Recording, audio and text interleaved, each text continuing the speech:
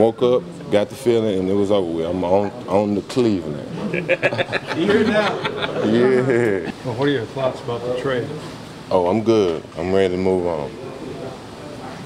Did you want to stay there with a new contract? No, I mean, business is business, man. I mean, I'm a grown man. I know how to handle situations. I'm good. Are you surprised by the trade? I was surprised. Do you understand it at all? I mean, I don't, but I mean, it's it's out of my control. I don't make the calls. Didn't he give you any kind of explanation? I mean, no. I mean, I, I get the news and I move on. I ain't, I'm not the type to pout about nothing. So I'm a workaholic, man. I'm gonna give I'm gonna give you what I got every game, every day, regardless. There's been a lot of talk since the trade. Um, maybe you weren't consistent enough. You freelanced. What's your reaction to those kind of comments? That's I don't know, man. That that's what the coaches do. That's what they for, man. I just come out here, like I said, I do what I gotta do. It's not my job to trade anyone.